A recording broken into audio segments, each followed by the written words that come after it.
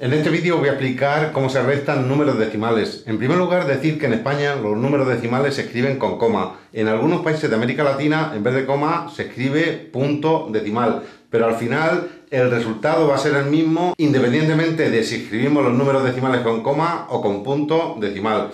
Vamos a escribir en primer lugar el minuendo y en segundo lugar el sustraendo, pero vamos a hacer coincidir las comas, de tal forma que una vaya debajo de la otra. Así pues, la parte entera se va a quedar en el lado izquierdo y la parte decimal se va a quedar en el lado derecho de la coma.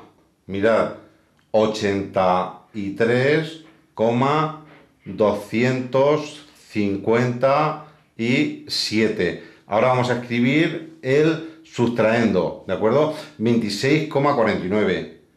26, escribimos la coma debajo de la otra coma, coma 49. Escribimos el signo de restar, hacemos la rayita y realizamos la resta. 7, de 9 hasta 15, 6. Si estáis viendo este vídeo es porque sabéis restar correctamente, ¿de acuerdo? 4 y una que me llevo 5, hasta 12, 7 de 12 me llevo una. Pero ojo, ahora escribimos la coma debajo de la coma, también en el resultado. 6 y una que me llevo 7 hasta 13, 6 me llevo una. 2 y una que me llevo 3 hasta 8, 5. Con lo cual el resultado es 56,767 o 56.767.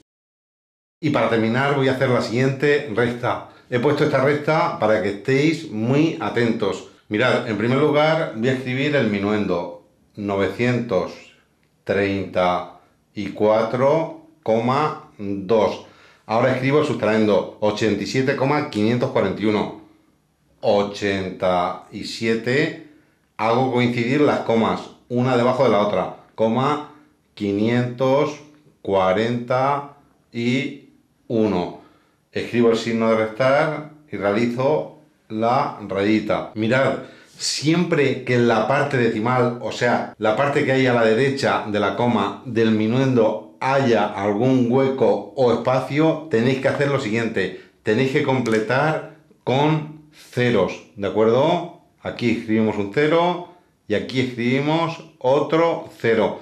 Esa es la salvedad a la hora de realizar rectas de números decimales. Ahora ya podemos comenzar a restar. De 1 hasta 10, 9. De 10 me llevo una. 4 y una que me llevo 5. Hasta 10, 5. Me llevaría una. 5 y una que me llevo 6. Hasta 12, 6. Me llevo una. Escribo la coma debajo de las otras dos comas en el resultado. 7 y una que me llevo 8. Hasta 14, 6. De 14 me llevo una. 8 y una 9. Hasta 13, 4. De 13 me llevo una una con la que me llevo hasta 9, 8. Con lo cual el resultado es 846, o punto 659. Pues bien, si el vídeo te ha ayudado, suscríbete al canal pulsando en el símbolo de la raíz cuadrada de 64, activa la campanita para recibir notificación de los últimos vídeos subidos, dale me gusta y compártelo. Gracias y un saludo.